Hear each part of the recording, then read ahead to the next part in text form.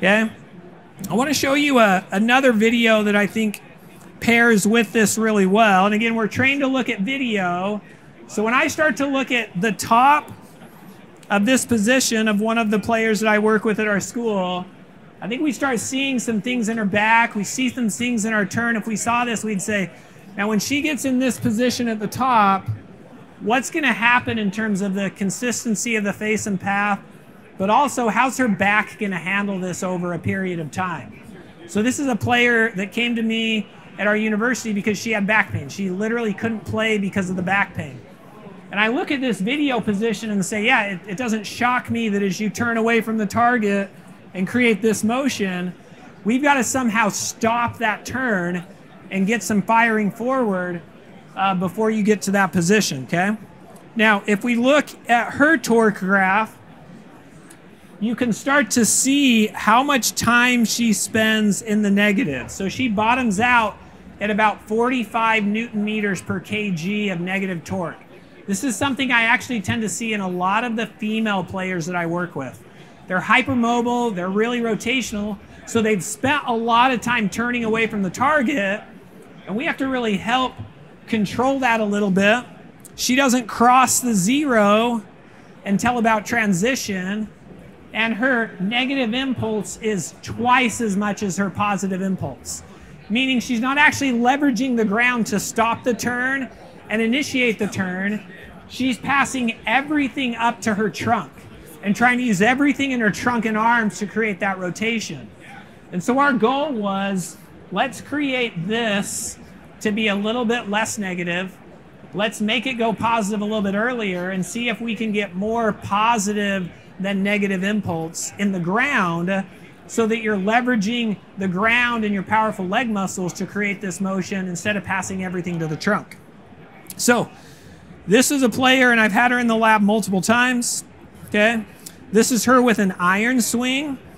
But again, we see the exact same pattern, right? A really, really big negative torque. Um, a lot of time spent in the anterior posterior, right? Just huge, huge anterior posterior motion in the backswing.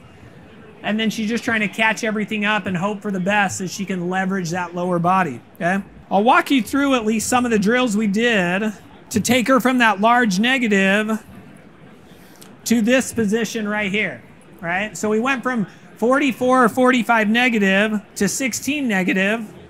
We're now basically approaching zero as she finishes that swing.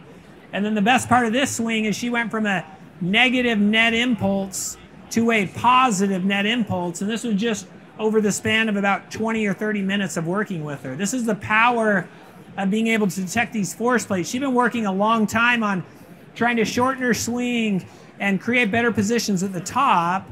But once we jump into the data, we can start to understand what is it that's that's causing her to create this. Okay, and I'll show you for her what that was. So we went into the 2D here, and what I wanted to look at was where she was actually applying force, especially as she was finishing out her backswing and then initiating her, her downswing. And so if we watch here, this is her at the top of her swing. Okay? And again, this is her like maybe an arm parallel in the backswing. What we can see is she's really late to shift force towards the ball of her lead foot. She actually does a nice job on the trail foot, um, but this stay, stays way far back. And what we start to look at is this line of pressure. So she actually has pressure further forward in her trail side than in her lead side. That makes it really, really hard to create the forces you need to stop that and then create that motion forward. So she was a player, we, we did a little bit of force pedal work and that helped her a little bit back on the plates. Uh, we did a little bit of just sensations of movement and that helped a little bit. What was really cool with her was the thing that actually allowed her to do that, and that was the feedback on the plates. So all I did is I just turned the plates right in live mode, put her on the plates, had her do her foot detection, and then she's standing there in golf posture. And in fact, she actually had a club in. And I just said, I just want you to take a backswing, and I want you to take this red dot a little bit more to the heel and bring the blue dot a little bit more to the ball. That was literally the only feedback I gave her. And she just kind of stood there and created this motion. And she's like, oh, yeah, cool. I can see that in the plates. I see that line of pressure be positive five instead of negative five. And I think that's something that I could recreate. So I threw her right back on the plates and said, okay, let's do that as maybe a little bit of a trigger. It was just two of these and then a swing. And what we were able to see is that as we now look at where she's pushing on the feet, now she gets to that top of the swing or about arm parallel here. And now she's gone from negative seven to positive eight. She asked me, she said, Hey, Tyler, is that a, is that a good change? Is that a big change? I said, You literally changed the line of pressure 15 degrees in about two minutes.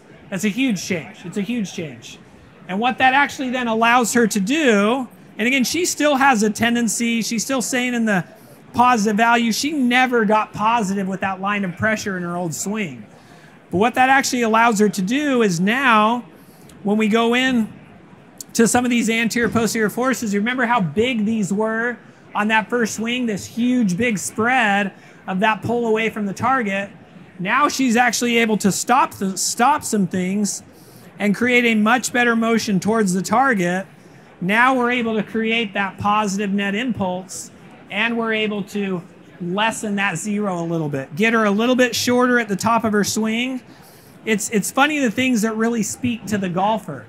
Uh, and for her, the thing that really spoke to her was she got to the top of her swing and she's like, hey, I've, I've shortened my swing. I'm not getting so long in that movement and bent over this way because she's actually able to leverage the ground. And for her, it was all about point of application of the lead foot.